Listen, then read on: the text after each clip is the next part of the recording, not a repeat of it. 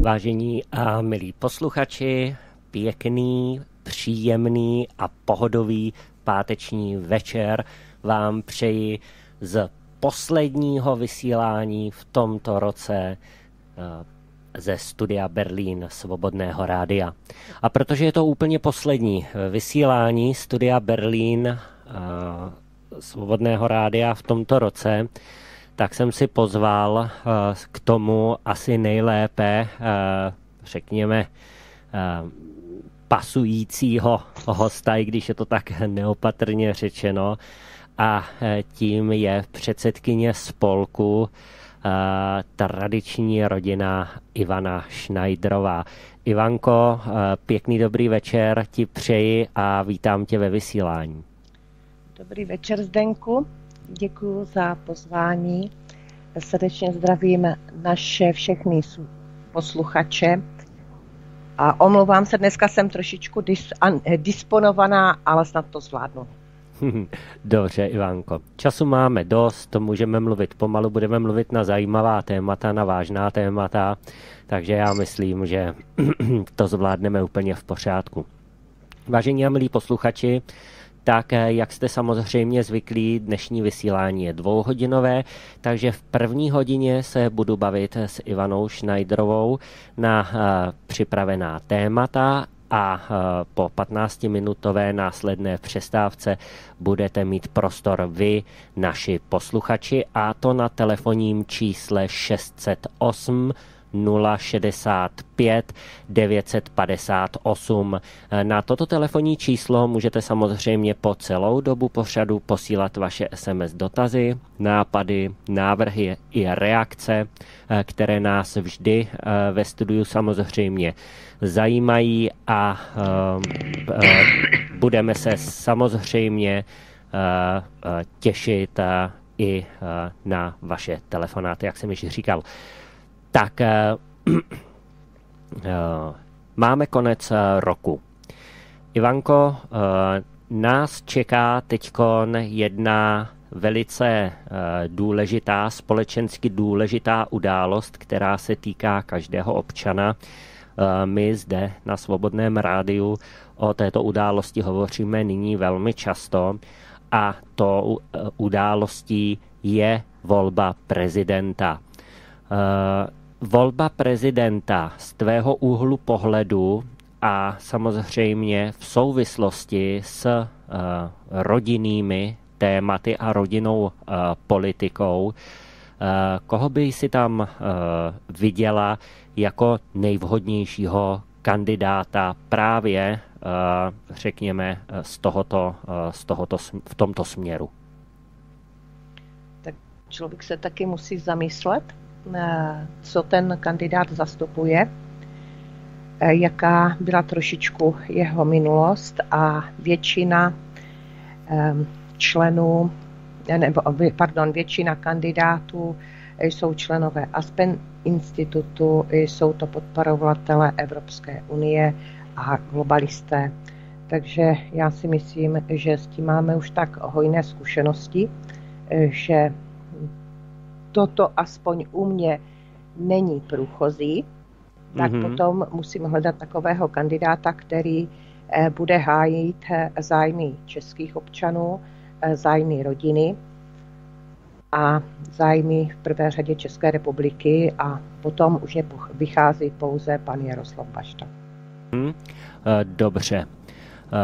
Já jsem posluchačům slíbil, že dneska rozebereme témata toho, proč je, proč je vlastně rodinná politika tak důležitá, protože ona se týká i sociálních oblastí a co nás hlavně a zejména v příštím roce a vůbec v následující době čeká. Je pravdou, že tato témata jsou upozaďována eh, a i vlastně u občanů méně eh, vnímána a to díky těm krizím, těm uměle zbytečně vyvolaným krizím, eh, se kterými my se potýkáme, jako je inflace, jako je, jako je uprchlická krize, jako je covidová, pandemická krize, klimatická krize a podobně. Nicméně je nutné samozřejmě si říci, že takové zásahy, takové drastické zásahy, které se snaží tento politický režim zanést do rodinné a sociální politiky, tak jsou zásahy, které samozřejmě ovlivní úplně každého jednotlivce a ovlivní ho natolik, že v podstatě zůstane úplně bezbraný. Když, aby jsme si to vzali trošku strukturovaně, tak já jsem si vzal příklad z sousedního Německa, protože dnes už snad nikdo nepochybuje o tom, že je to právě Německo, které nás nejvíce politicky v rámci Evropské unie ovlivňuje.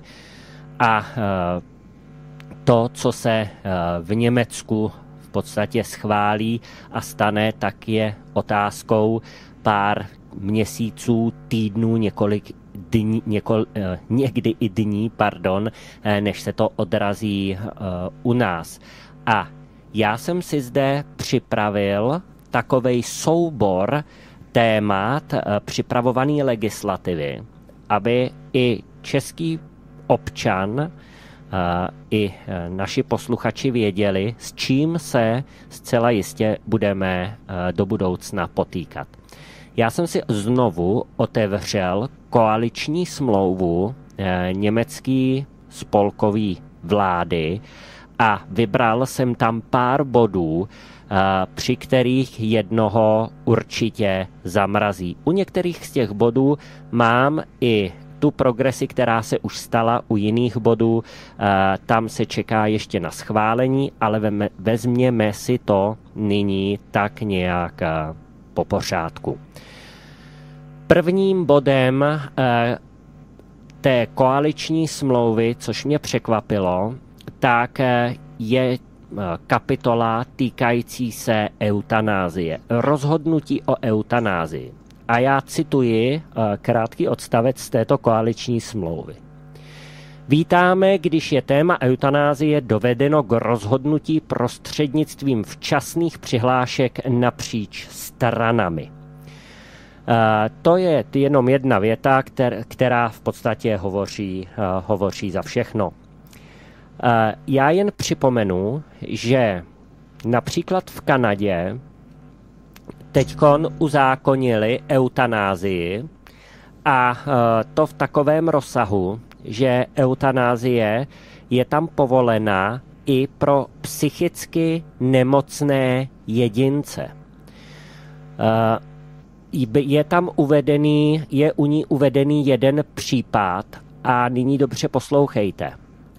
Samozřejmě, že o eutanázii si daný v uvozovkách pacient může rozhodnout sám a dokonce ta, tento zákon, který byl v Kanadě, který byl v Kanadě uzákoněn, tak mluví o tom, nebo popisuje případ jedné dívky, která trpí bulimií, tedy nechutenstvím k jídlu, a ona trvá na tom, že chce raději umřít tou asistovanou sebevraždou, než aby v podstatě zemřela sama hlady.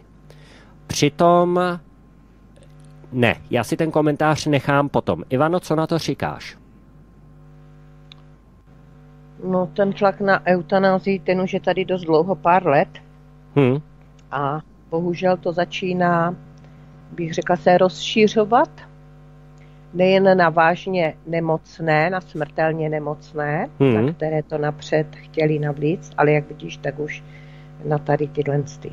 Pod, nakonec by se to rozšířilo, jakým způsobem, do, kam by to došlo. Jo. hmm Takže podáš prda, vezmou ti celou ruku. hmm Tak Eh, já budu v tomto trošku ostřejší než ty. Eh, mně to připadne jako eh, nacistický praktiky, protože zbavovat se takovýmto způsobem nemocných lidí a zejména psychicky nemocných lidí, my víme všichni, co nacisté dělali s psychicky nemocnými lidmi, Zbavovat se touto formou takto postižených lidí je naprosto něco nehorázného. To za prvé. A za druhé, co se týče bulimie, tak bulimie neznamená, že je nevylečitelná. Bulimie je psychická porucha nebo nemoc, je možný přiřadit jako k závislosti, která, když ten člověk chce, tak eh, se z té bulimie dokáže dostat. Není pravda, to není pravda, já s tím naprosto nesouhlasím, eh, že by eh, že by dívka, která trpí bulimií, tak neměla v podstatě jinou možnost nebo jinou šanci k navrácení do normálního života. Samozřejmě případ, jiný případ je například u rakoviny v posledním stádiu a podobně. To se nedá absolutně srovnávat. Ale uh, tento případ, uh, kdy, kdy jde o bulímy a o tom, že si taková dívka nebo mladá slečna, mladá žena může sama rozhodnout o, se, o asistované sebevraždě, mně přijde naprosto, naprosto šílená, místo toho, aby se jí poskytly všechny relevantní uh, způsoby, jak v podstatě jí pomoci. Takže to je eh, jeden z bodů, eh, tedy z té eh, německé koaliční smlouvy. Pojďme dál. Já tady mám jako další bod reprodukční sebeurčení, ale to je trošku delší téma, já bych si ho rád nechal nakonec. Pojďme nyní na rodinné právo. Co se týče rodinného práva, tak eh, ta koaliční smlouva uvádí. Zmodernizujeme rodinné právo. Za tímto účelem rozšíříme nyní v uvozovkách malou opatrovnu pro sociální rodiče a rozvineme ji v samostatný právní ústav, který lze po dohodě se zákonnými rodiči převést až na další dvě dospělé osoby. Zavedeme institut společenství odpovědnosti, a umožníme tak dvěma a více dospělým převzít za sebe právní odpovědnost nad rámec milostných vztahů či manželství. Chceme usnadnit dohody o zákonném rodičovství, rodičovské zodpovědnosti, právu na styk s dítětem a alimentech před početím. Když se dítě narodí v manželství dvou žen, jsou obě automaticky zákonnými matkami dítěte, pokud není dohodnuto jinak. Manželství by nemělo být rozhodujícím kritériem pro adopci nezletilých dětí. Uznání rodičů by mělo být možné i mimo manželství, bez ohledu na pohlaví osoby, která rodiče uznává, nebo na rozvodové řízení. Zavedeme řízení o určování nezávislého na postavení dítěte, ve kterém si může dítě nechat u soudu objasnit své rodičovství, aniž by zároveň muselo napadnout zákonné rodičovství. Chceme také otevřít registr dárců spermatu pro předchozí případy, soukromé darování spermatu a darování embryí. E, začněme tím koncem, Ivano. Chce, e, e, koaliční smlouva uvádí, že ty koaliční strany chtějí otevřít registr dárců spermatu pro předchozí případy, soukromé darování spermatu a darování embryí. Co ti to připomíná a kam tě to navádí? Kam mě to navádí. Tam potom vlastně nikdo nebude vědět, eh, kdo je jeho sestra, kdo je jeho bratr. Eh, velice jednoduše prostě nebudou znát svoje kořeny, vlastně svoje otce, když jsou to ty dvě matky, které jsou které mají vychovávat a potom to může výst k incesu, po, eh, k porození postižených dětí. No, No, no, dobře. Ale, ale tady, tady to jako máš spermabanky, spermabanky, takže vyloženě to už je dneska, ty spermabanky a jde to vlastně business, business s tady tím dárcovstvím. Mm-hmm. Jak vajíčka, tak prostě sperma. No, celý tento článek uh, uh, rodinné právo, a to je celý balík, tak v podstatě touto větou jasně navazuje na to předchozí a to v podstatě tím způsobem, že oni jasně říkají, že tady se upřednostní právo na umělé početí dítěte a to tou formou teda samozřejmě surogátním mateřstvím a umělým oplozováním a podobně. Na druhou stranu se tady, a my se k tomu dostaneme, naprosto popírá ta, eh, a zadupává to přirozené početí dítěte, eh, bavíme-li se tedy v tomto duchu, eh, s čímž se úplně všechno převrací a to v zájmu čeho? V zájmu biznesu. A samozřejmě s tímto souvisí i celá ta LGBT agenda a tlaky na uzákonění manželství pro všechny, aby mohli adoptovat děti a to děti zejména právě počaté tou umělou cestou, protože tady je jasný ekonomický zájem, který se tu staví nad zájem, řekněme, společenský a sociální. Bavili jsme se tady eh, v tomto článku o takzvaném institutu zodpovědnosti, který eh, by měl umožnit dvěma a více dospělým převzít za sebe právní odpovědnost na drámec milostných vztahů či manželství. Toto je tedy na, uh, plán nebo jeden z bodů té koaliční smlouvy, který už v červnu v Německu prošel určitou progresí.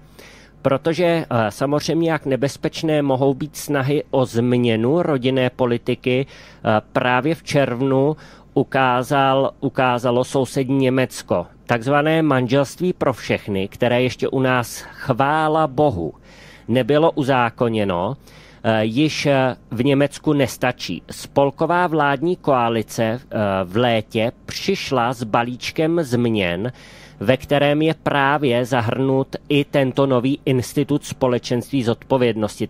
V Němčině je to Verantwortungsgemeinschaft.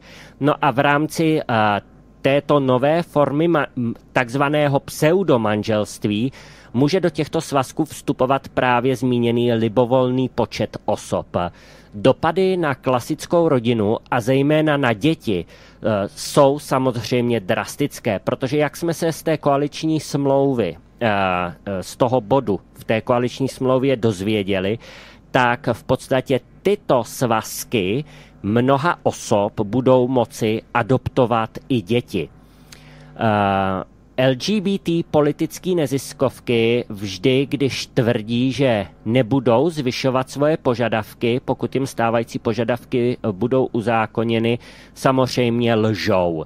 Eh, protože když jim bylo umožněno registrované partnerství, tak dneska už jim nestačí. Eh, v České republice chtějí manželství stejnopohlavních párů, to takzvané manželství pro všechny.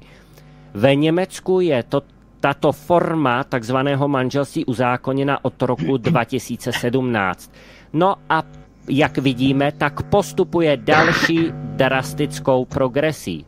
Současná spolková vláda v Německu je se svými plány rozhodnuta prostě zrušit klasickou rodinu tak, jak ji známe.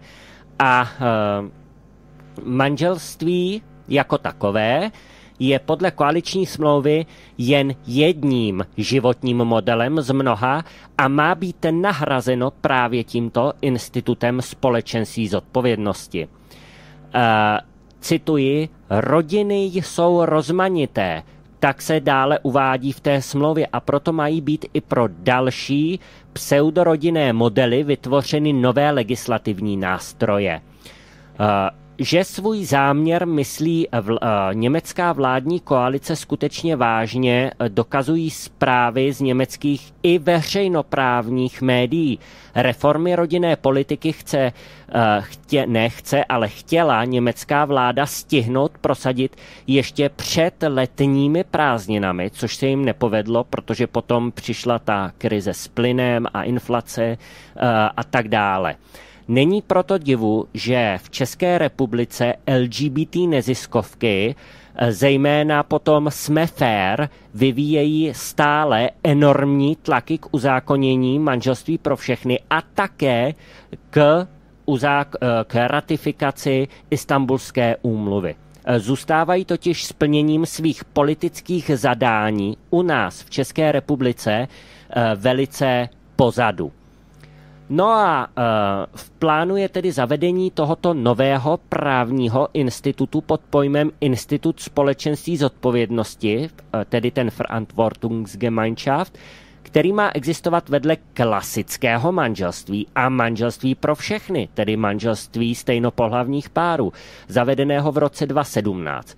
Institut společenství zodpovědnosti není otevřený jen dvěma lidem, ale tolika lidem, kolik se jich rozhodne zvolit si způsob společného soužití. Zda jde o dvě nebo tři svobodné ženy, nebo desetičlené společenství, či dokonce sourozence, je v zásadě úplně jedno. Vše a všichni jsou akceptováni státem jako společenství podobné manželství, ale tedy vzdáleně podobné a požívají pozor daňových a právních privilegií, ale stejných jako v klasickém manželství. No a samozřejmě v rámci manželství pro všechny se nezapomnělo ani na takzvané duhové a pečvorkové rodiny. Protože rodinné právo by mělo být přizpůsobeno v mnoha oblastech také pro takzvané duhové a pečvorkové rodiny – dvě matky, strýc docházející na návštěvy se svým partnerem jako otec. To všechno se v budoucnu má stát legálním a má se to také stát novým rodinným ideálem propagovaným a podporovaným státem. Práva dítěte, které se narodí do takovýchto komplikovaných pseudorodičovských konstelací vyplývajících z tohoto chaosu samozřejmě není uh, mediálně ani politicky spochybňováno. Podle spolkové vlády to prostě musí fungovat a tečka. Jde o radikální odklon od, od pravidel odvozených z přirozené reprodukce a původu pro přežití rodiny. Megalomanie a víra, že přírodu lze modernizovat i prostřednictvím člověka, zde jdou ruku v ruce. No a proti zavedení institutu společenství zodpovědnosti se překvapivě postavil v létě i sám papež, eh, který prohlásil, že rodina založená na manželství je stále nejčastější formou rodiny. Eh, Téma snížené porodnosti v Evropě je sociální nouzí i kvůli egoismu takzvané single společnosti, která se spokojuje s náhradními uspokojeními, jako je kariéra, cestování a žárlivé hospodaření s volným časem, hrozí, že se krásy rodiny stane utopií. To je tragická chudoba, protože postihuje lidi v jejich největším bohatství a to je přivedení života na svět a předání lásky. Takže výjimečně eh, tehdy, tedy v létě, papež eh, tímto trošičku překvapil. Uh, Ivano, uh, svazky zodpovědnosti, tyhle ty sociální experimenty, uh, uh, jak to sleduješ ty? Uh, my jsme se v České republice nedostali ještě ani a já znovu opakuji díky bohu k těm manželstvím pro všechny. Někdo to nazývá manželstvím pro všechno. Uh, jakou prognózu k tomu máš uh, ty? Já nebudu nic predikovat, protože my máme pouze jedno úsilí a to je, aby to manželství pro všechny bylo odmítnuto. Protože tak, jak se nám ze začátku vysmívali, co je to ta tradiční rodina a jak si myslíte, že ji zničíme. Tady to mají. Přímo na zlatém podnose, tak jak se ničí. Co je to rodina? Společenství deseti lidí nebo i více.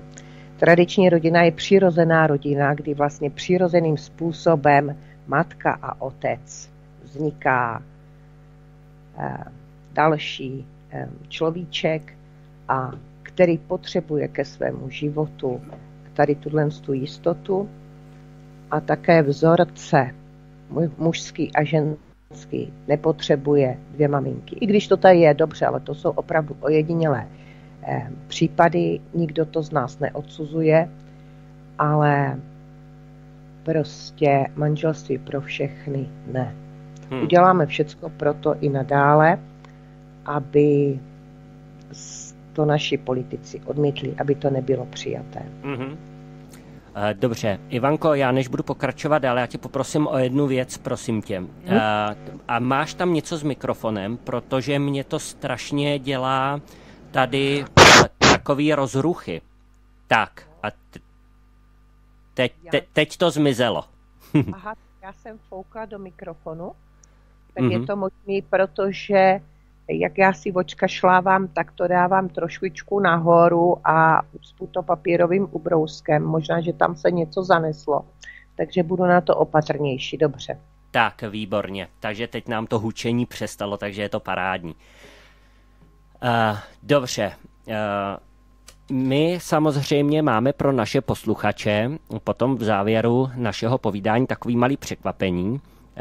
Uh, ale eh, my teď zůstaneme u dalších eh, témat, protože samozřejmě manželství pro všechny v tomhle roce, alespoň v Německu, eh, neslo své ovoce, takové to otrávené ovoce, kdy samozřejmě, jak si správně říkala, že když se smáli všichni, zejména naši odpůrci tedy,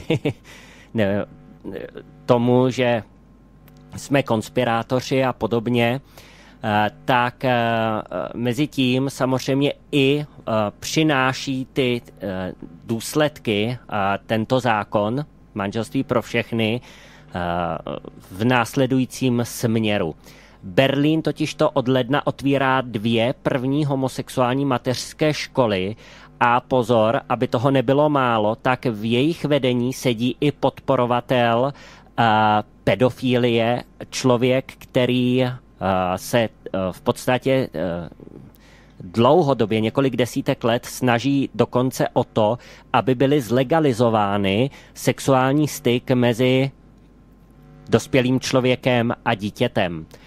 Eh, LGBT Schwulenberatung Berlin, což je LGBT organizace, otvírá začátkem příštího roku dvě mateřské školy zaměřené na homosexualitu, transgender a intersexuální problémy ve spojení s dětmi. Děti předškolního věku zde mají, pozor, poznávat jiné způsoby života a jiné světy, tedy ty homosexuální takzvan eh, Psychosociales Centrum für Schwule, eh, což je LGBT organizace, která stojí za zřizovatelem školek, je vedená i Rüdigerem Lautmanem, který otevřeně propagoval legalizaci pedofilních sexuálních styků. Berlínská LGBT lobby s hrdostí zahajuje nový vlajkový projekt mateřské školy zaměřené na geje a lesby z 90 místy. V tomto duhovém sociálním experimentu se nyní oficiálně nacvičuje takzvané dětské obětování, nebo ne takzvané, ale prostě děti jsou tomuto LGBT obětovány. Pikantní na tomto projektu je skutečnost, že v představenstvu provozovatele sedí prvotřídní relativizátor pedofilních sexuálních styků. Nové mateřské LGBT školy se budou jmenovat Růžový tygr a Žlutozelený panter – Provozovatelem je Berlínská asociace pro poradenství gejů, která chce mateřské školy umístit ve vícegeneračním domě pro homo, by, trans a interkulturní lidi, jenž je momentálně stále ve výstavbě. Jedná se o 90 míst, Údajně existuje již 60 předregistrací a podle posledních zpráv jsou všechna místa již nyní obsazená. Podle konceptu by se dětem v mateřských školách měl ukázat gay a lesbický způsob života, aby pro ně bylo později snažší se rozhodnout. Vítány jsou samozřejmě všechny děti, jak říkají provozovatelé homoškoly, a nejen děti, které už vědí, že jsou lesbičky nebo gejové. Ivano, co říkáš na to, že eh, v Německu mají eh, podle tedy eh, této LGBT organizace děti ehm, ve věku předškolního, které už vědí, že jsou gay a nebo lesbičky.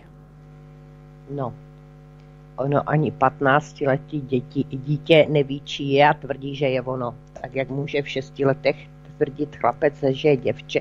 Dělají dětskám v hlavě zmatek, co si budeme povídat, protože pohlaví, to svět světem existuje, jsou pouze dvě.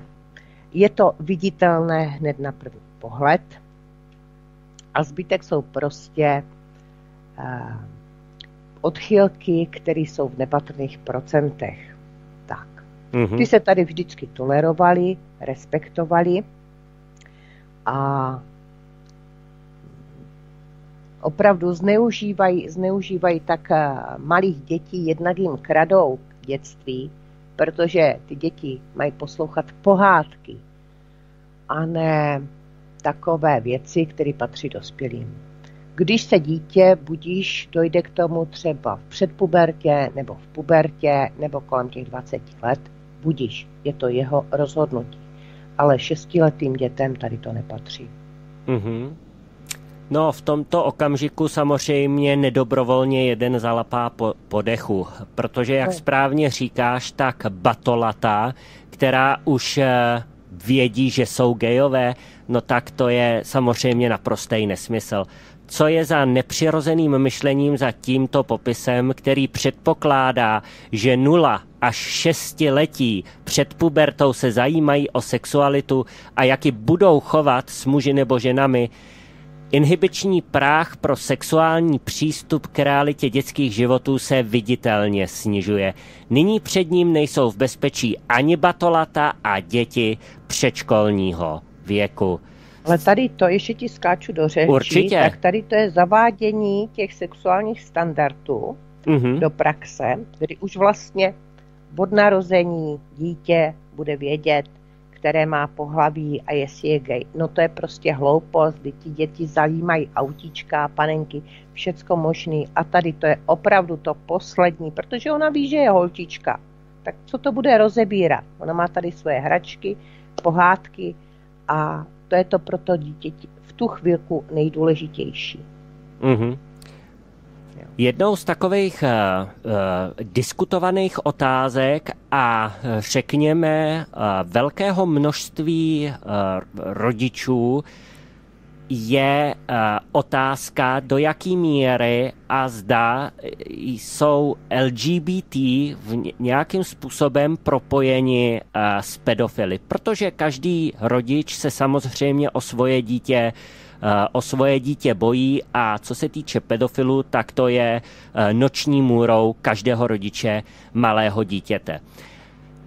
LGBT v České republice, neziskovky, teď mám na mysli, tak se samozřejmě vehementně uh, veřejně uh, distancují od uh, pedofilů, pedofílie, tvrdí, že s tím nemají nic společného, že je to něco úplně jiného. Na druhou stranu v interních dokumentech to propojení tam je, když si připomeneme z roku 2018, tuším, eh, stínovou zprávu Český ženský lobby a podobně.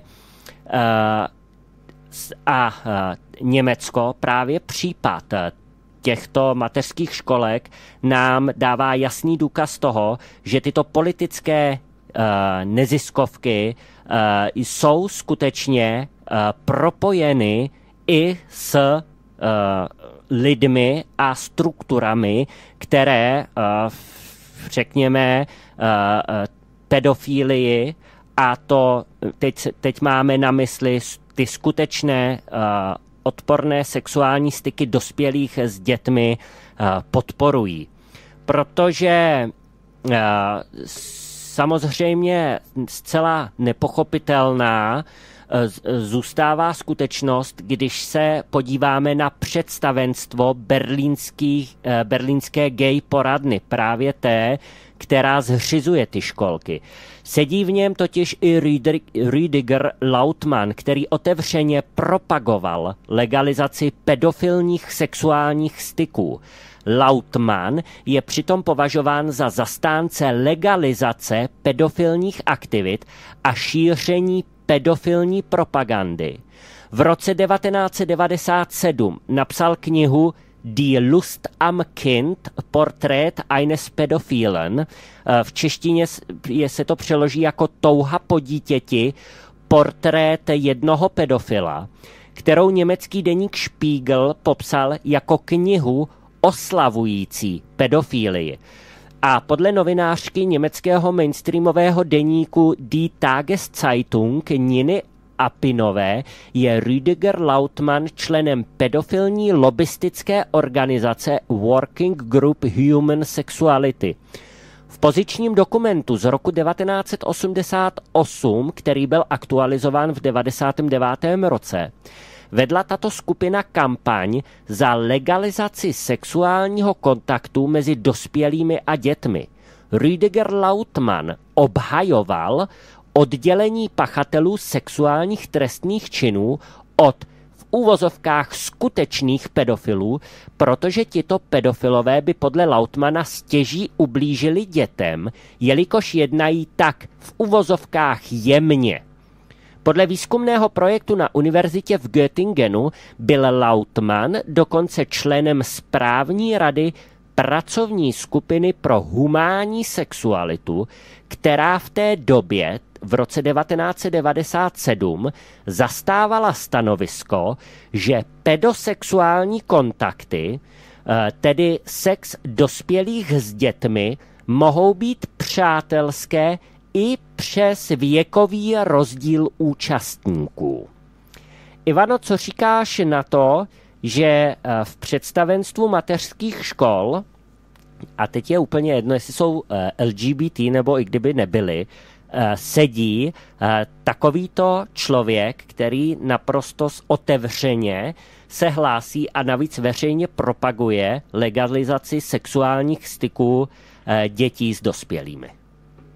Tak já si myslím, že pro spoustu normálních rodičů, kterých je většina, je tady to absolutně nepřijatelné. Hmm. Nevím, jaký ty máš na to názor, asi stejný. Mm-hmm. Ale tady to odporuje zdravým rozumu, promiň. Ale jak si potom vysvětlit, že eh, v podstatě no. ta LGBT a vůbec celá tato agenda má na veřejnosti tak silnou podporu? Alespoň na západě teda. Člověče, já... Tak lidi nemají podle mě všechny informace, eh, protože známe média, kteří to zmanipulují pouze dávají ven určité jenom útržky a hlavně ty krásné o té rozmanitosti rodin, jak se milují a tak podobně. A ostatní zůstává skryto. Je to mediální masáž. Mm-hmm. Dobře. A samozřejmě, že jsou za mne podporovaný, jako ukážou ti krásnou rodinku, na nás si ukazují, jak je tradiční rodina, jaký jsou tady rozepře. Eh, ale ty u nich jsou taky, mm-hmm. protože zvláště dneska, co si budeme povídat, jsou rodiče pod velkým tlakem existenčním, takže tady ten stres se taky projevuje na rodinách, vůbec to není růžové a když se do toho pustí novináři a média, co si budeme vykládat, vidíme to taky u nás v jakékoliv, při jakékoliv příležitosti. Mm-hmm. Dobře, pojďme na poslední bod, eh, což je takzvané sebe, eh, reprodukční sebeurčení. Eh, je to bod, který samozřejmě hovoří o potratech, což je teda pro mě nepříjemný téma, já to říkám vždycky, že o tom nerad mluvím, ale bohužel to do té naší agendy spadá, takže se tomu alespoň trošku pojďme věnovat. V, koalič- v německé koaliční smlouvě je i kapitola o reprodukčním sebeurčení. Já ji znovu odcituji, je to velice krátké. Posilujeme právo žen na sebeurčení. Vytváříme bezpečnost dodávek. Potraty by měly být součástí lékařského vzdělávání a školení. Možnost bezplatných potratů je součástí spolehlivé zdravotní péče přijímáme účinná právní opatření, abychom čelili takzvanému obtěžování ze strany odpůrců potratů. Zajišťujeme celostátní zásobování poradenských zařízení. Konfliktní poradenství v těhotenství bude v budoucnu možné také online. Lékaři by měli mít možnost poskytovat veřejné informace o potratech, aniž by se museli obávat trestního stíhání. Proto vypouštíme paragraf 219 a STGB. Zdravotním pojišťovnám chceme umožnit proplácení antikoncepce jako zákonem stanovený benefit. Náklady jsou hrazeny osobám s nízkými příjmy. Chceme zvýšit financování výzkumu antikoncepce pro všechna pohlaví. Tak byl tady zmíněn paragraf 219a ten se skutečně německé eh, vládě, této německé vládě, podařilo zrušit. Eh, tento zákon nebo tento paragraf eh, byl v podstatě paragrafem, který nějakým způsobem určoval pravidla pro to, kdy a za jakých podmínek lze potraty provádět.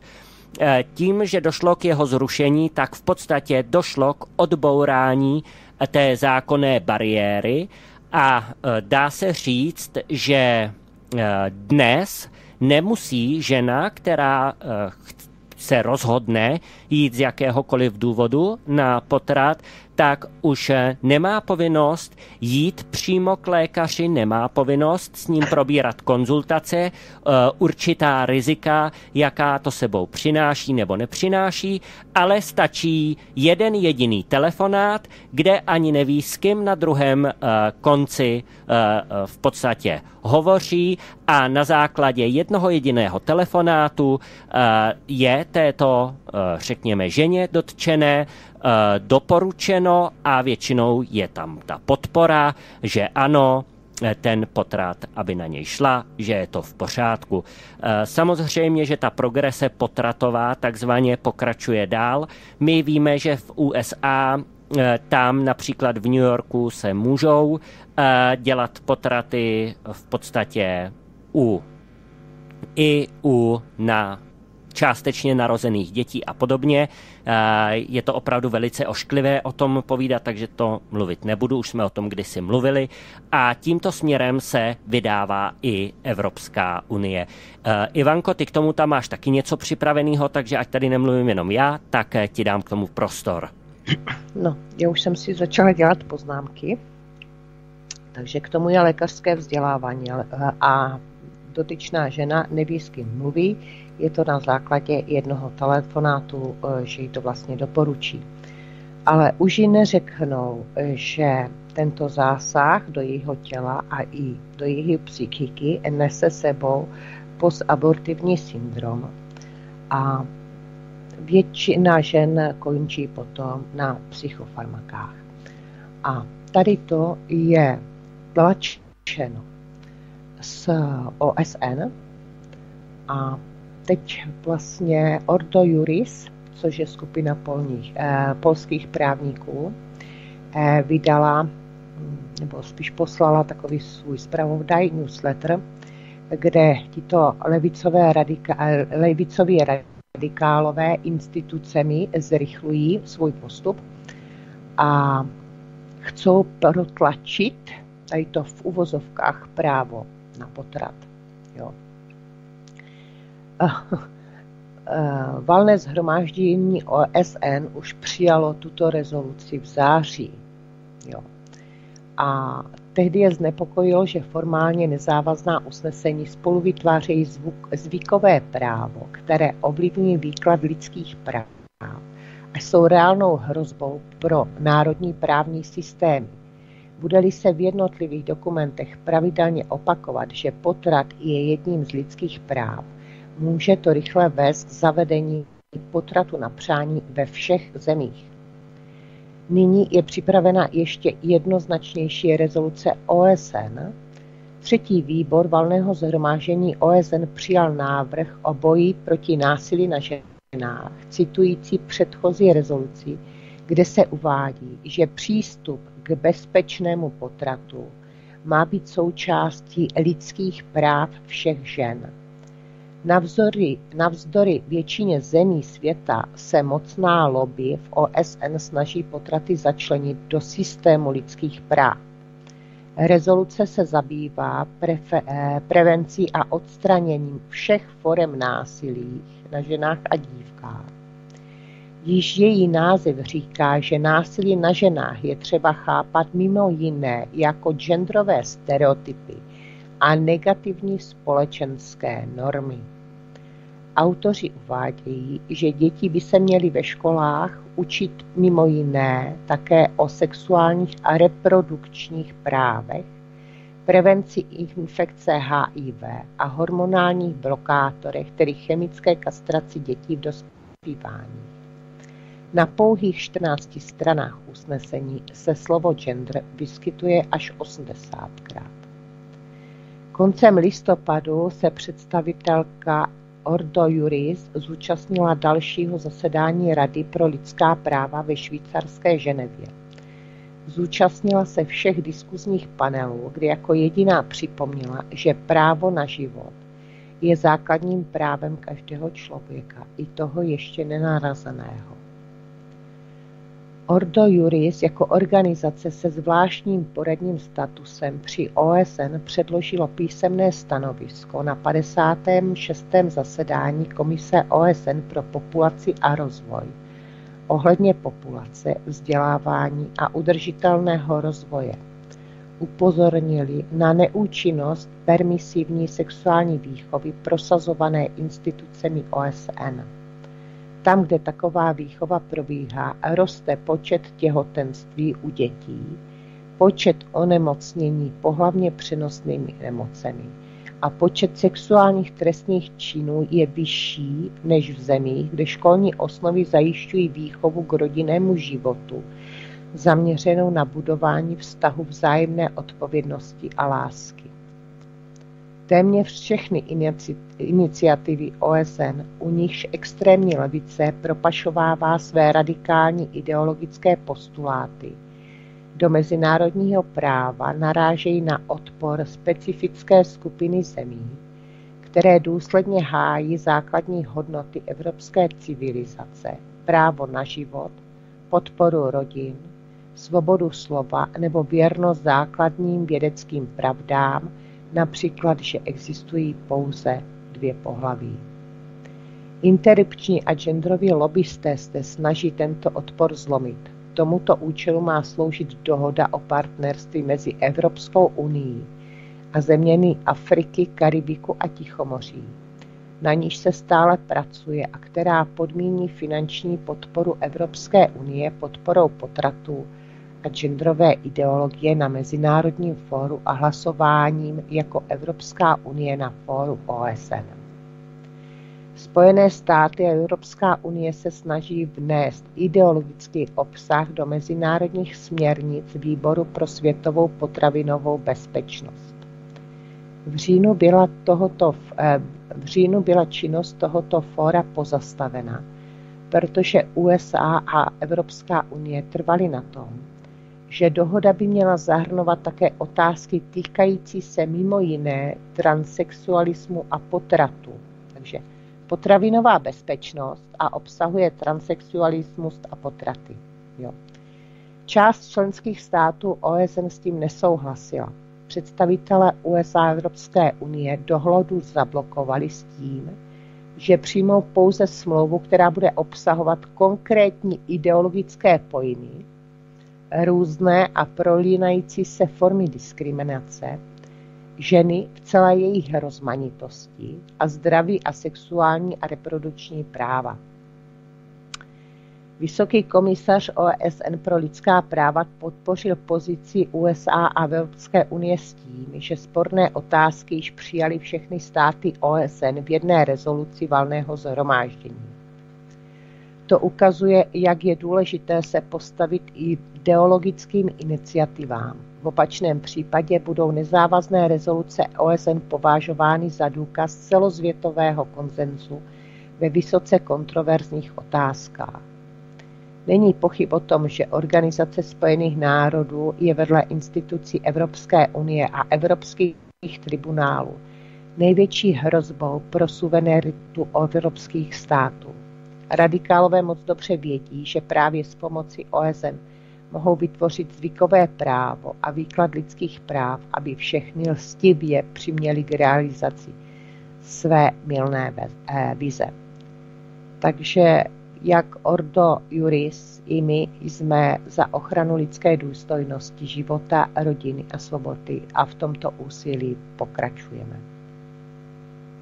Tak, tak to je eh, za mě všecko. Díky, Ivanko. Eh, samozřejmě, eh, že tady je jednoznačná, jednoznač, jednoznačně z toho vyplývá, o co zde jde.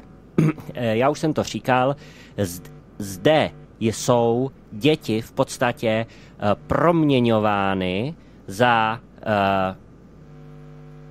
za prostředky ke generování biznisu, ke generování peněz.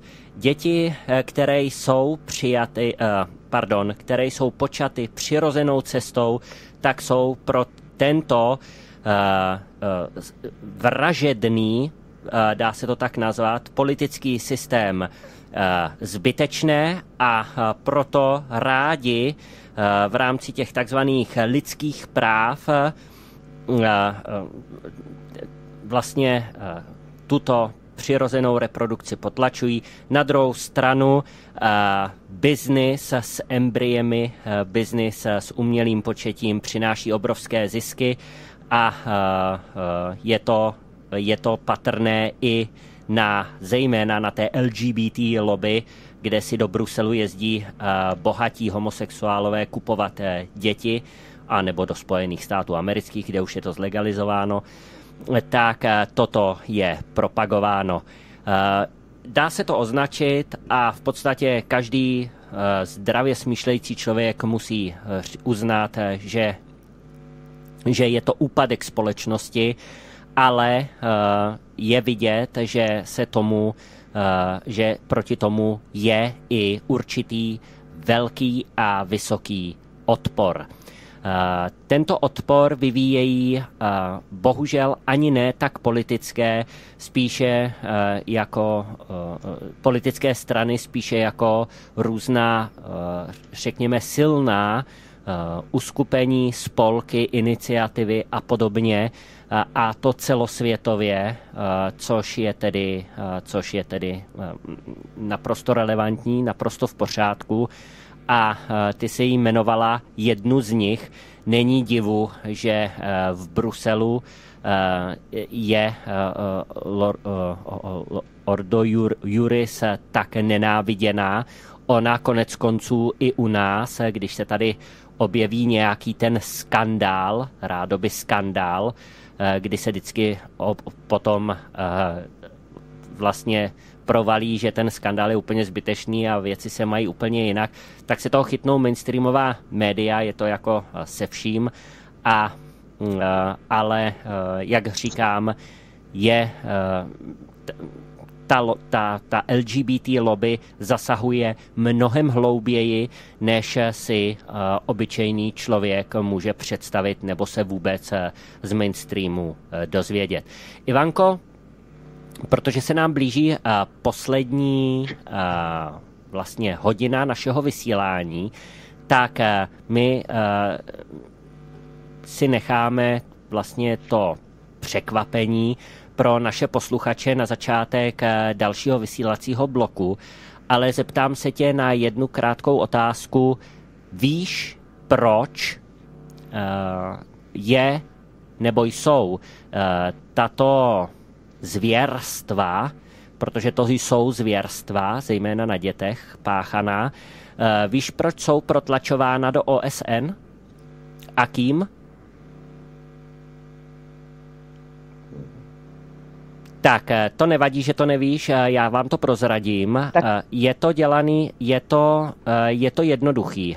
Ono se totiž provalilo a my jsme to měli taky v jednom z vysílání, že Světové ekonomické fórum má přímou smlouvu s OSN a to, o čem ty si tady mluvila, když si citovala uh, Ordo Juris, tak všechno, uh, všechny ty body jsou vlastně dalšími body agendy udržitelného rozvoje 2030, protože i toto spadá pod agendu udržitelného rozvoje. Snižování, snižování počtu populace. Tak a jako poslední perličku na dortu, nebo třešničku na dortu, ne perličku, ale třešničku na dortu, tak mám pro vás eh, jednu takovou eh, docela dost skandální informaci, eh, která vyšla dneska v určitých německých médiích.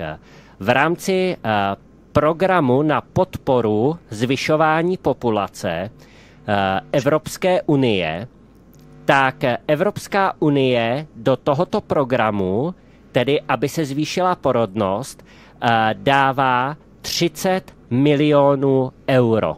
A vážení a milí posluchači, a ty Ivano, víte, kam těch 30 milionů euro, který má být určeno na tento program eh, pro členské státy Evropské unie jde?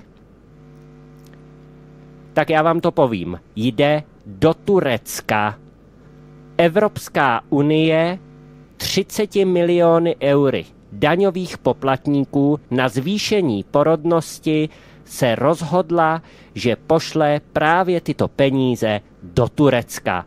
Ano, do toho Turecka, kde, kde je jedna z nejvyšších porodností na světě a kde se uh, očekává další masivní Eh, přírůst eh, nebo nárůst porodnosti do roku 2050. Já o tom budu mít eh, článek, nebo já o tom budu mít zprávu ve středečním ve středečním uh, spravodajském pořadu Geopolitan.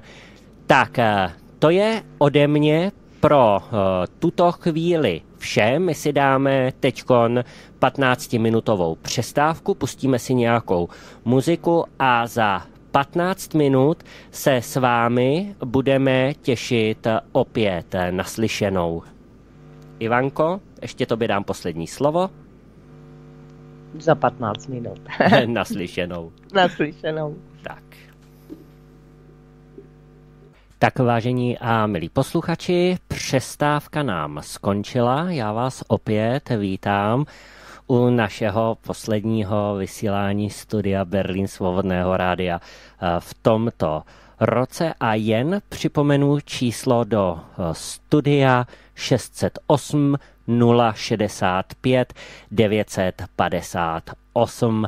Dnes se bavím s Ivanou Schneiderovou, předsedkyní spolku Tradiční rodina, eh, o v podstatě legislativních bodech a změnách, které nás eh, mohou potkat a pravděpodobně potkají eh, v následujícím roce. Ivanko, i tobě ještě jednou přeji pěkný dobrý večer. Halo, halo, slyšíme se? Tak Ivanka, s Ivankou se neslyšíme, takže já ji zkusím ještě jednou zavolat. Někde se nám to, někde se nám to seklo. Hmm. To je nepříjemné, ale snad se nám podaří navázat spojení.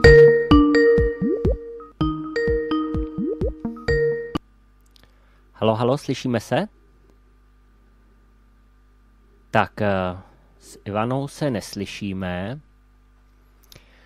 Tak eh, já jenom, jestli Ivana nás slyší, tak eh, Ivano, podívej se do nastavení Skypeu, prosím tě, jestli tam máš správně zvolený výstup eh, mikrofonu.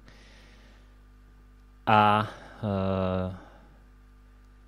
a snad se nám podaří se spojit později. Tak, než se dostanu, než se dostanu k vašim dotazům, tak mám tady ještě jednu záležitost. My jsme se tady bavili o německé legislativě, bavili jsme se tady o tedy záměru uzákonit svazky zodpovědnosti, bavili jsme se zde o té takzvané potratové politice, ale ještě je zde jedna relativně čerstvá nová záležitost, která taktéž spadá pod koaliční smlouvu německé spolkové vlády a to je zákon o sebeurčení. Tento zákon se v Němčině nazývá Selbstbestimmungsgesetz a týká se dětí, které by si podle tohoto zákona od 14 let měly mít možnost sami bez zásahu rodičů, lékařů nebo pedagogů rozhodnout o tom, že podstoupí chemickou kastraci, blokátory puberty a podobně. Takže eh, to je eh, nyní taktéž na stole a samozřejmě, že toto je eh, v rámci této, řekněme, této agendy, této progrese na dalším pořadu. A protože tato agenda přichází samozřejmě sice z OSN, ale k nám z Bruselu, tak je nutné k tomu dodat, že nejvýraznější roli v tom hraje právě Evropsko-unijní nebo bruselská nezisková organizace ILGA, eh, pod kterou spadají, když to řeknu zjednodušeně, i naše eh, neziskové LGBT, feministické a další neziskové organizace. Tak eh, já doufám, že Ivana něco udělala s tím Skypem, tak, slyším tě, ano, takže Ivana mě slyší, ale já neslyším, neslyším tebe. Tak, takže uh, já ji zkusím ještě jednou zavolat. Tak, eh, Ivan, halo, halo. tak už se slyšíme výborně, protože uh, když jsem ti no, volal... No, já už se slyšíme. Tak, eh, když jsem ti volal předtím, tak si vůbec nebyla slyšet.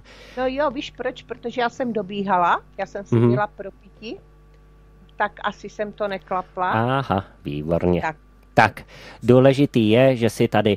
Uh, slyšela jsi to poslední, co jsem teď říkal o tom Selbstbestimmungsgesetz, zákoně o sebeurčení? Uh, to je za... o co se jedná, ale já jsem tě totiž vůbec neslyšela. Jo, no je to zákon, který je eh, na plánu, eh, který má, má německá vláda v plánu schválit. Přišli s tím teď nedávno a je to v podstatě zákon, podle kterého 14-leté děti si sami mohou rozhodnout o chemické kastraci, o blokátorech puberty a podobně. No, však to jsme u nás taky měli, bylo to v návrhu tenkrát, když Pelikán odcházel, tak to dal mastu a hned odešel jako minister spravedlnosti. Mm-hmm. Takže u nás tady to tam leží taky, jo vidíš. Ano. Takže, jak vidíte, vážení a milí posluchači, eh, toto jsou velice závažné body, eh, které, eh, nebo a závažná témata, která se týkají zejména rodičů, dětí a není radno je podceňovat.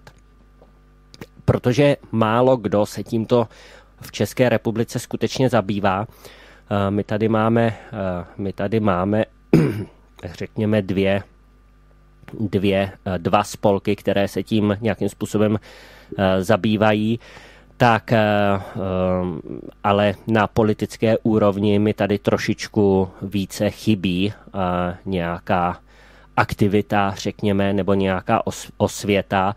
Ono dneska ani není divu vzhledem k tomu, co se děje, že jiná témata to přebíjejí. Ale i toto je důležité téma a proto jsem rád, že jsou zde lidé, kteří, proti tomu, kteří se tomuto brání. Ivanko, nebudeme naše posluchače déle napínat. Já jsem jim slíbil překvapení, tak jim to, protože ať nejsme jenom negativní, přeci jenom zítra máme Silvestr, tak ať uděláme našim posluchačům i trošičku radost pozitivní zprávou, tak dávám ti slovo, povídej. Tak pozitivní zpráva je, že vlastně teď jsme vstoupili 13. prosince, to je krásné datum, eh, jsme vstoupili do pátého roku svého působení. Letos se nám zase vyšel třikrát článek v regionálním tisku v nákladu, v nákladu 1 500 tisíc kusů napříč Českou republikou od Ostravska přes Olomoucko, Brněnsko, Vysočinu až k Plzni. Naším přáním bylo vydávat články eh, v rámci této informační kampaně co druhý měsíc. A již nyní mohu říct, že v roce 2023 se tak stane. Tak, hmm. je to prostě, to je tak fantastická zpráva, že já furt se tak vznáším tady, těch pár dnů, co to vím. Hmm protože tady ty novinové články, které nám vycházejí, jsou velmi důležitou součástí našich kampaní, protože, jak jsme vidět na sociálních sítích, tak vlastně ne všetci mají tu možnost být na internetu, takže si počtou. A už jsme očekávaní, píší nám jak noví, tak eh, občas ti, kteří nás už dlouhodobě sledují, a tito lidé měli taky přání, abychom mě, e, psali častěji. Takže vidíte, přání se plní a nejen o Vánocích. E, jejich dosah je obrovský, protože představte si, jeden přijde na oběd se známýma do restaurace a tam diskutují nad našima článkama. Potom nám píší, jak se, že je zaujal nadpis a tím pádem se pustili do celého článku. A samozřejmě, jak je spousta pozitivních eh, odezev, tak což je 99,99% a občas se tam nande nějaký takový pomílenec, bych řekla.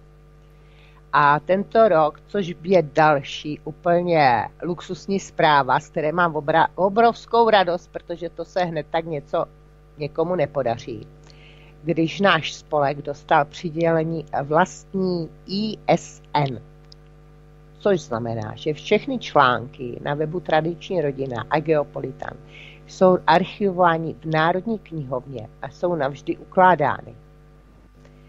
Přístup k těmto informacím a obsahu bude možný i v případě, že naše webové stránky nebudou existovat a budou zachovány i budoucím generacím. No a to, že si neustále udržujeme nezávislost díky finančním, darcu, eh, finančním darům drobných dárců, tak to je taková další potěšující okolnost. Mm-hmm. Takže to jsou, to jsou tři, čtyři takové krásné zprávy pozitivní. Tak a je to i trošku i návod pro ty, kteří říkají, že sami nikdo nic nezmůže a nezvede a ne, že, že, že, že to nejde a prostě tak. Všechno no vidíš, jde... a začalo to tím, že tak. jsem se prostě naštvala. Tak. Ano. Tenkrát 2018, jak vylezli ti pubertáci a dělali ty demonstrace. Mm-hmm. Tak. Tak. Jenom jsem se naprdla a říkám, jdu do toho a oni se ke mně přidali. Tak. Takže další takové heslo, udělej krok a svět se k tobě přidá. Ano, všechno jde, když se chce, chce to jenom chce to jenom vytrvalost. Vytrvalost a pracovat a pracovat. Bez toho to totiž nejde. Uh, Ivanko, to je jedna část, tedy těch radostných zpráv a teďkon tě poprosím o tu další radostnou zprávu, protože uh, já bych tady chtěl veřejně poděkovat SPD a to zcela, eh, to zcela eh, otevřeně, jak říkám, protože eh, jestli si naši posluchači pamatují, tak my jsme měli kdysi 24. února 2020 ano. seminář byl v na poslanecké sněmovně ano. na téma Istanbulská úmluva a manželství pro všechny. Tak, ze kterého bohužel zmizely veškeré videomateriály, protože YouTube to všecko smazal a bohužel ti, co to natáčeli, tak nemají k dispozici archivní záznamy, takže bohužel z toho se nic nezachovalo. E, nicméně Nicméně nyní díky panu poslanci Foldinovi, a teď to dopověsty. Pracujeme na přípravě semináře, který možná proběhne v poslanecké sněmovně nebo kdekoliv jinde, což se uvidí. Téma bude opět Istanbulská úmluva a manželství pro všechny, protože za tu dobu, jak vidíte, vyplouvají na povrch další skutečnosti, o kterých ani politici neví, natož občané. A vzhledem k tomu, že určitě zase v březnu naše protistrana eh, bude protlačovat tady ten zákon, protože jsou v těsném závěsu za Německem, tak musíme být připraveni. Tak eh, Nebude to samozřejmě téma jenom manželství pro všechny a istambulská umluva, ale už to budou eh, zejména ty dílčí témata a v podstatě to ta témata, o kterých jsme mluvili dneska, hlavně ty legislativní změny, protože na to navazují. A eh, jak říkala Ivana, tak tady je nejdůležitější to, že ani poslanci sami eh, vůbec netuší, nevědí, Eh, co se v podstatě, eh, co se v podstatě chystá, co se na ně navalí a jaké by to mělo eh, důsledky. A jak víme a známe, tu, ty lobbysty z těch neziskovek, které jsou bohužel opět rozeseti v těch různých poradních vládních výborech, hmm. tak ti předloží něco na vládu, táto samozřejmě Eh, ta Fialová to samozřejmě okamžitě pošle do parlamentu a tam, eh, tam, eh, se, to bude, tam se to bude schvalovat a jak říkám, pokud o tomto poslanci nebudou vědět, co skutečně ty zákony znamenají, tak oni proto můžou mávnout rukou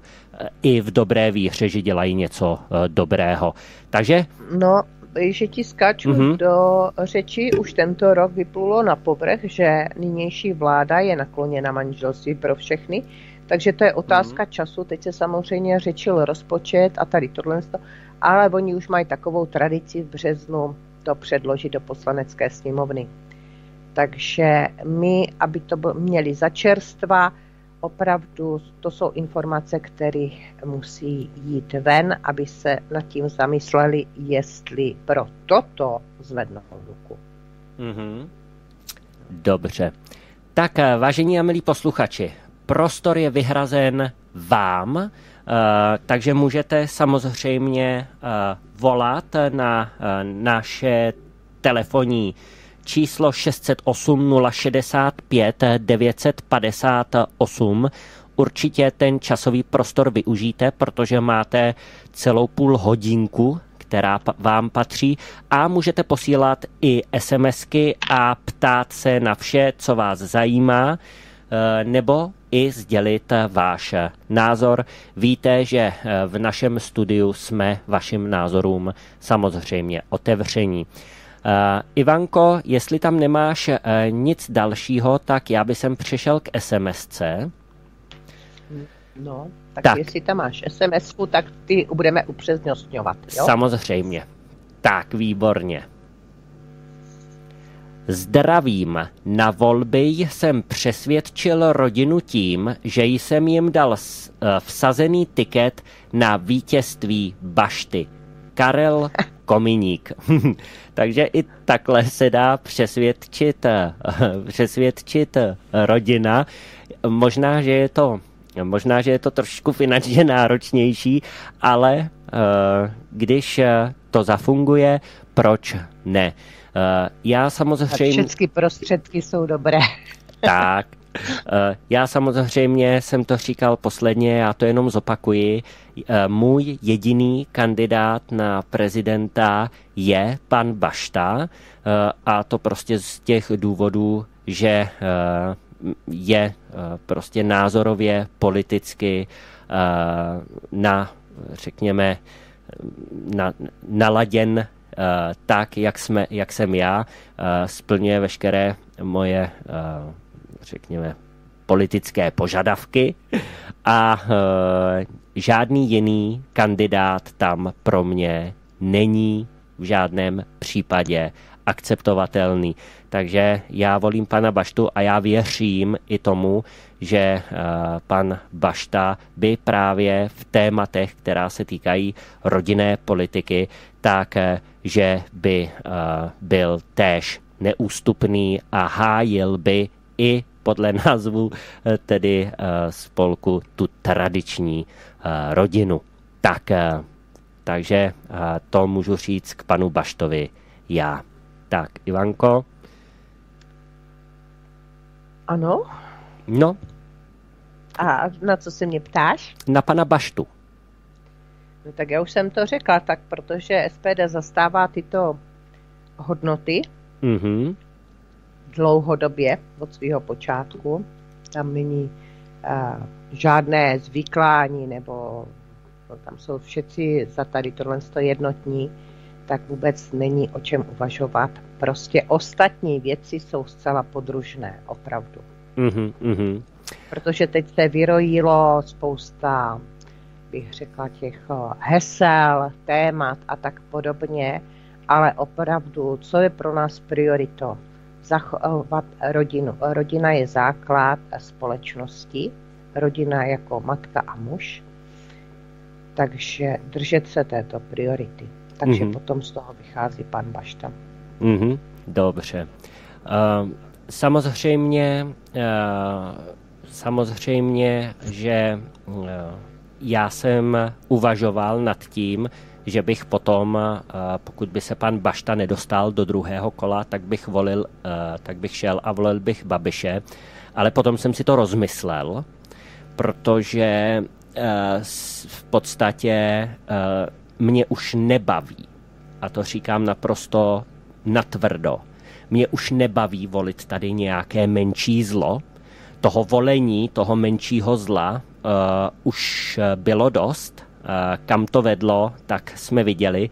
Ano, progrese se sice trošku zpomalila, ale oklikou se vždycky uh, později dosáhlo toho, čeho Eh, ze strany globalistů být dosaženo chtělo a mělo být. A eh, proto já už tuhle tu agónii svým hlasem nehodlám dál podporovat a protahovat.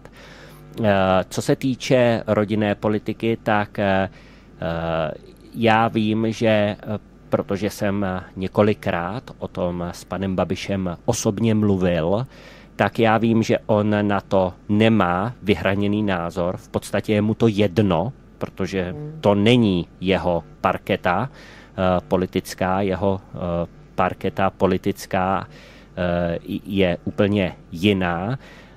Takže tam není záruka ani toho, že by těm lobbystům nepodlehl, i když jedno se mu musí nechat.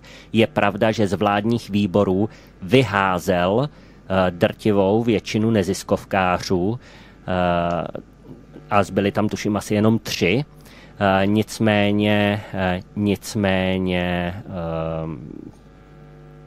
to je prostě irrelevantní vzhledem k tomu, za prvý, že kandiduje na prezidentský post a za druhé, že, za druhé, že v podstatě tohle téma mu není eh, blízké. Tak, eh, takže jako jestli tam bude, jestli tam bude Babiš nebo eh, Nerudová nebo kdokoliv jiný, pro mě osobně nehraje prostě žádnou roli. Ať si ti, kteří uh, sdílejí hodnoty Aspen Institutu, tam zvolí pro mě za mě, koho chtějí. Já volím jasnou uh, proti, eh, řekněme, protiváhu jasného Víš protikandidáta. protože všetci tady ti ostatní kandidáti jsou liberální, liberální a vnímají k doktríně, která je vedena zvenčí. Mm-hmm. Takže dřív nebo později, ale oni velice brzo začnou tady zavádět eh, to, co prosazuje OSN, Evropská unie, já nevím, co všecko, no, VHO. Svět, Světové ekonomické ještě, fórum. Světové ekonomické fórum. Dítě, eh, norské for, fondy, mm-hmm. ty tady vlastně platí juvenilní justici, kolik milionů přispívají. To je zase implementace norské sociálky do našich zákonů. A samo Norsko dneska přiznává, že ten postup byl chybný a zapříčinil mnoho destrukci mnohých rodin a deformaci rodiny, jako vnímání ve smyslu tradiční rodiny, přirozené rodiny, otec, matka. Mm-hmm. Mm-hmm. A to... dneska, dneska ten princip tradiční rodiny byl potlačen a je upřesňován systém samoživitelek a samoživitelů. Ale tady zase to navazuje na pěstounský biznis. Jo?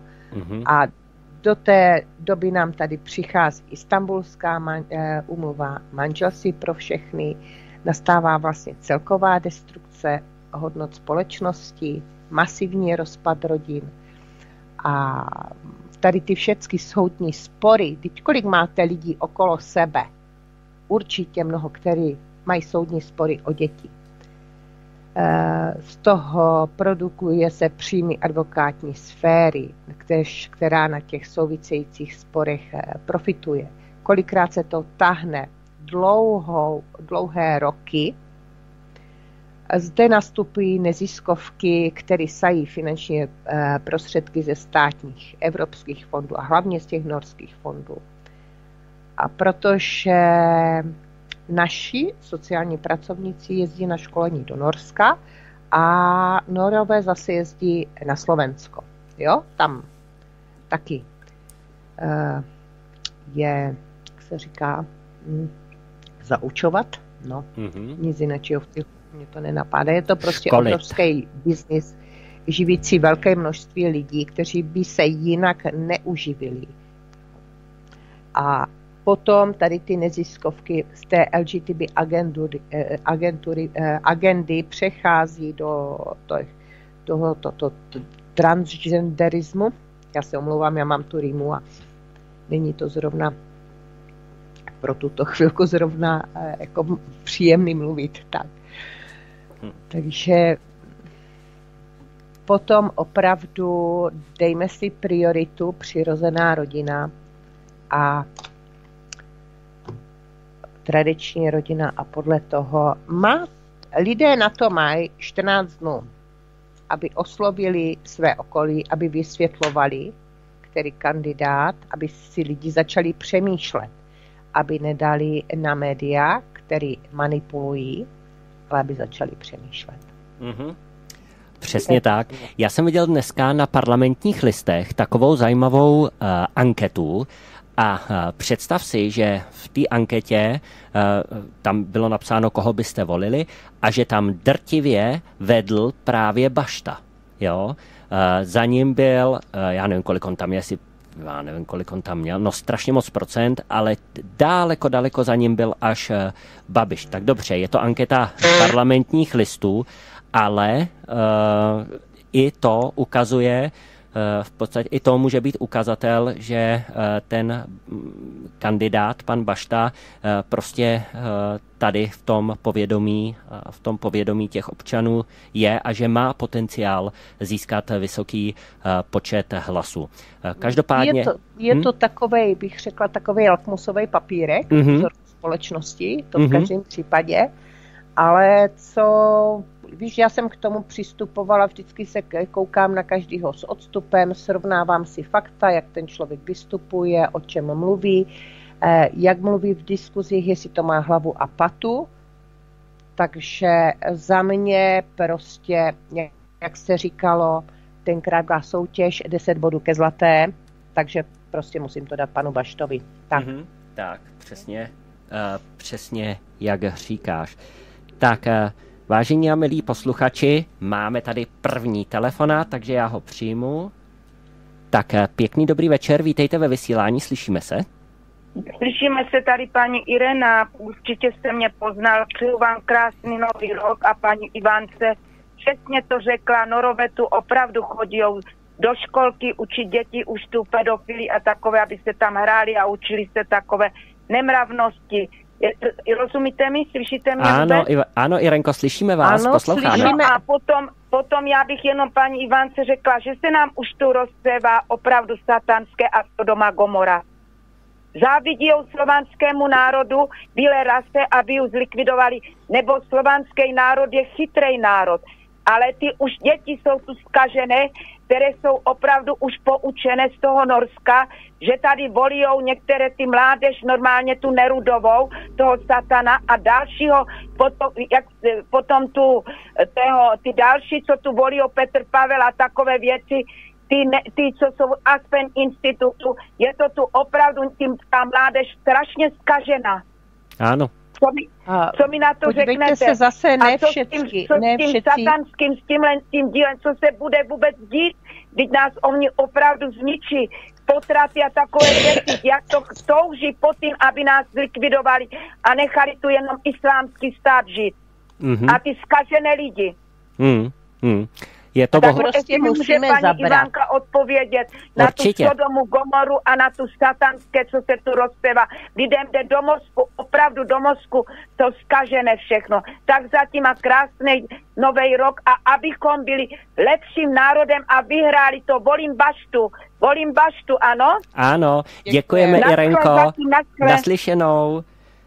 Tak eh, já moc děkuji paní uh, Ireně za její telefonát. Paní Ireno, já i vám přeju všecko nejlepší do příštího roku a samozřejmě, že my se vynasnažíme dál pracovat, nebo ne vynasnažíme, ale my budeme dál pracovat ještě asi určitě intenzivněji, než, než jsme to dělali doteďka, protože si to hold situace žádá a já teda dám uh, prostor Ivaně, aby reagovala na váš telefonát a odpověděla vám. Tak Ivano?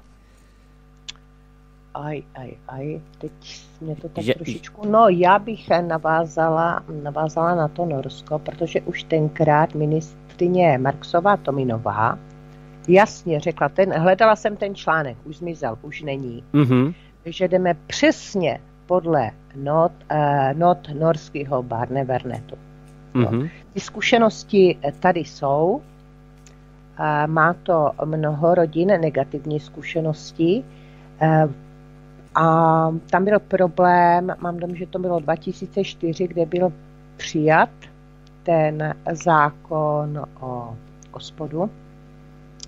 A tenkrát ho prezident Cloud nechtěl podepsat. Jo a ještě měl takový, má neustále manipulační název o sociálně právní ochraně dětí. Mm-hmm. Tři roky mu to vnucovali z OSN, eh, potom z něho udělali cynika a jak mu nezáleží na dětech, dokonce ani na sirotcích, ale on vlastně ty děti hájil dobře věděl, co tento zákeřní zákon obsahuje a proto ho stále vetoval. Jo, ale vůči mediální kampani byl tenkrát bezmocný. Nakonec ho prosadili. Mm-hmm.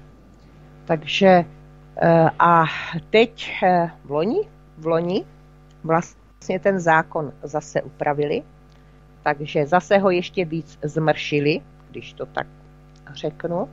Ano. A zase to odnášejí pouze děti.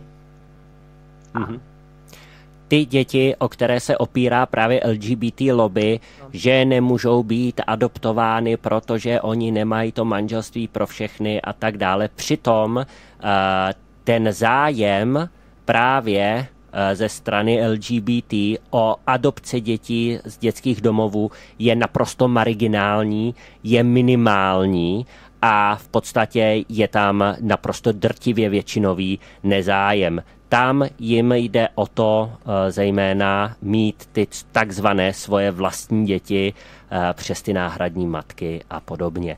Takže to, to prostě dneska už eh, všecko samozřejmě víme.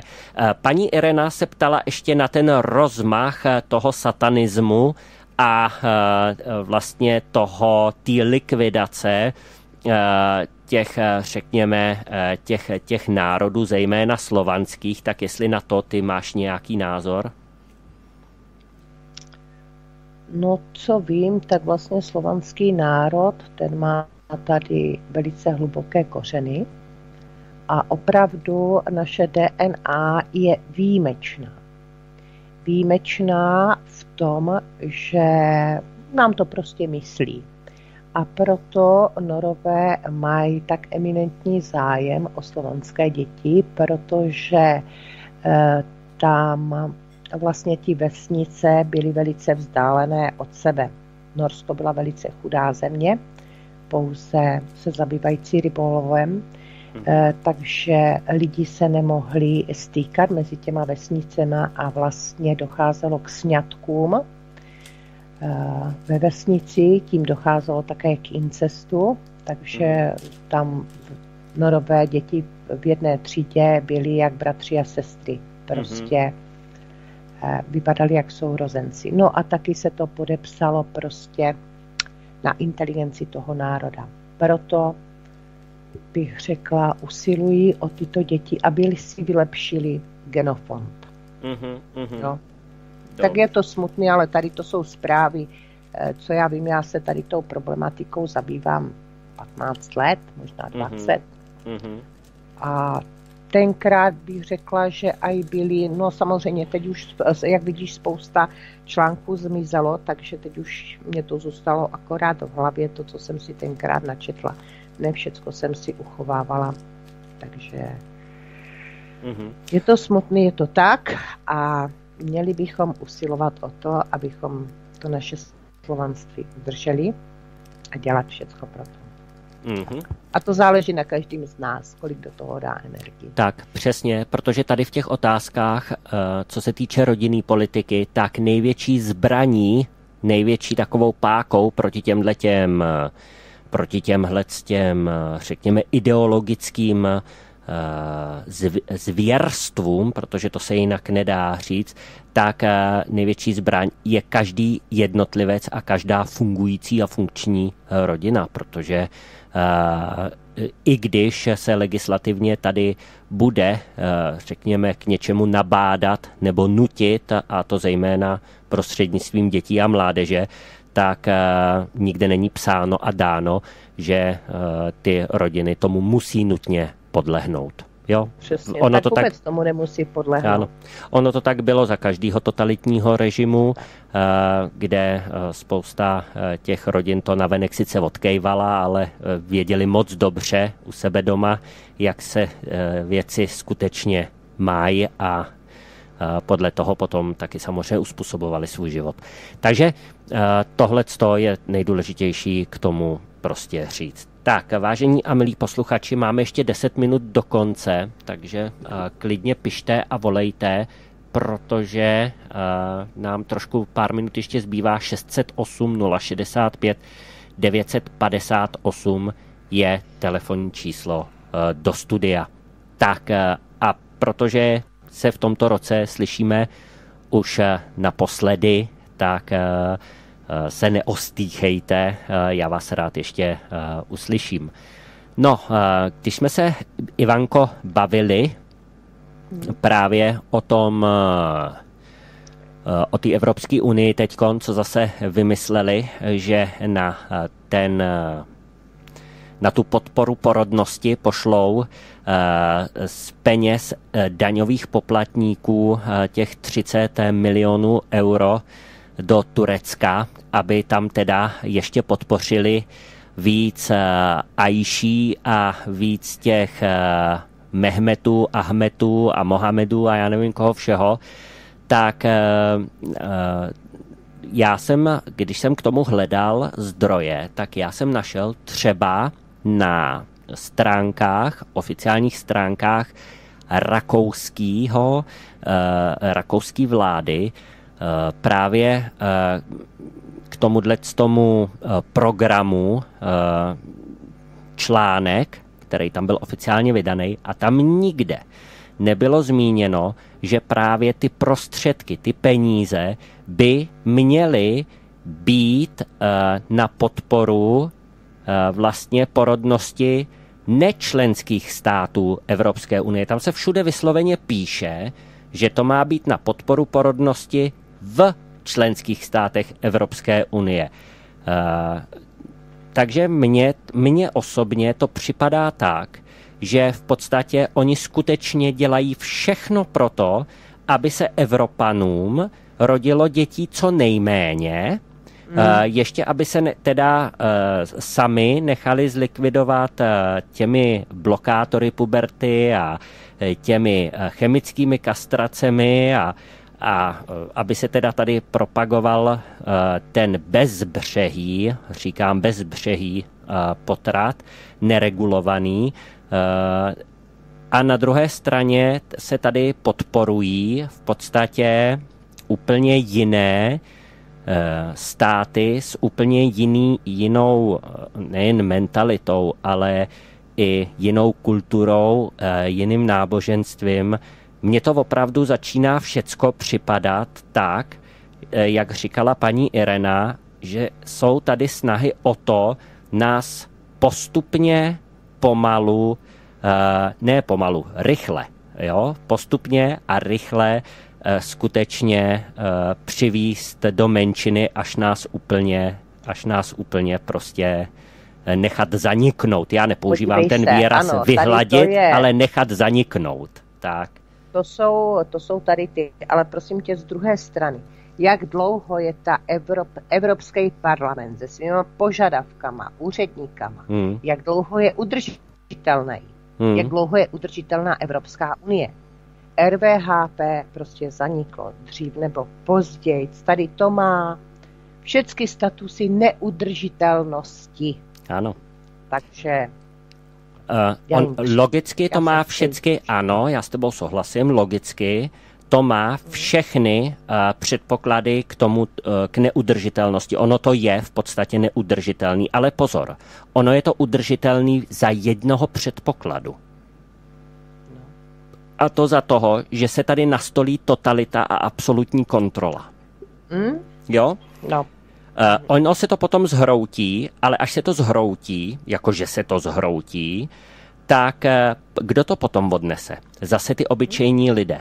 Jo? Uh, v podstatě on, ono se to pořád opakuje. Pořád se to opakuje. Jo. Oni nevymýšlejí nic nového. Oni ne, jenom obmě... se stále opakuje. Ano, oni hmm. obměňují jenom nástroje uh, a taktiku ale principiálně je to pořád jedno a to samé. Máme tady sms -ku. Co to ten satanismus přesně je? Kdo se jim ukáže? Děkuji. Tak eh, já nevím, v jakém pojetí to třeba měla na mysli paní Irena, eh, ten satanismus, ale já v podstatě pod to schovávám, když o tom mluvím já, tak pod to schovávám všechno, co se uh, vymyká uh, takovému tomu uh, normálnímu přístupu k životu, k těm, jak bych to řekl, vyplývajícím z sebezáchovy. Uh, jo, například, uh, když se tady bavíme když jsme se teď tady bavili o těch, o těch blokátorech pro ty mladý, těch blokátorech puberty, těch tranzicích a podobně, tak ten, kdo to propaguje a kdo to protlačuje, tak prostě to je pro mě satanista. Jo? Jestliže to myslí někdo, třeba paní Irena z náboženského uh, úhlu, tak uh, třeba nám to příště nějak po, povysvětlí, ale já to beru spíše tady z toho, uh, tady z toho úhlu.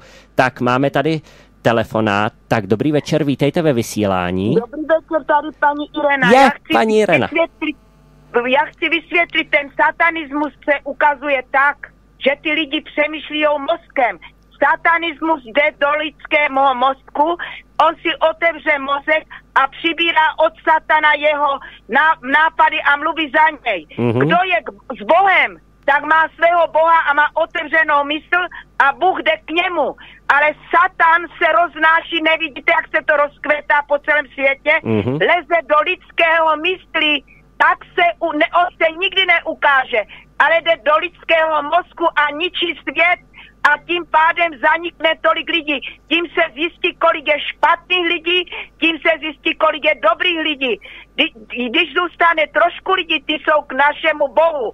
Ti, co jsou, to jsou všecko satani. To je těch osm prezidentů, co teď bude se volit, to je všecko satanismus, tyhle ty lidé co u nás jsou. Jenom Bašta je dobrý a ostatní lidi, kteří přijmou našeho Boha, tak jsou prostě k němu dobrým člověkem a satanismus se projevuje myslí a špatnosti, zlodějnou, vraždama, válkama a takové věci LGBTQ a takové tyto nejhorší věci, potraty a jakési rituály, co se dělají na dětech a potom si tam dělají modláře a vůdu a takové věci. To je ono. Dobře. Papež, taky. Naschle zatím. Díky Ireno, díky za vysvětlení, naslyšenou. Ano. Takže paní Irena vysvětlila, jak to s tím satanismem myslela. No a náš pořad se pomalu a jistě nachýlil ke konci. Vážení a milí posluchači, já vám moc krát děkuji, že jste s námi vydrželi.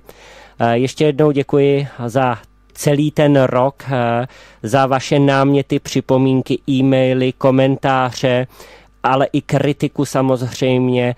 Eh, já doufám, že, se, že jsou vám moje nebo naše pořady tady ve studiu Berlín eh, Svobodného rádia, eh, že jsou vám k užitku, eh, že vám pomáhají orientovat se v tom zběsilém, šíleném světě a já vám do příštího roku přeju jenom to nejlepší a hlavně hodně štěstí, zdraví a buďme, buďme silní, protože to budeme potřebovat. Ivanko?